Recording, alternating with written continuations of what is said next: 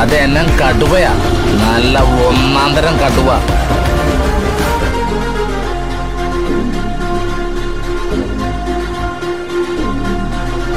വയനാട്ടിൽ പാവം കുടിയേറ്റക്കാരോട് കാണിച്ച ചെറ്റത്തരങ്ങൾ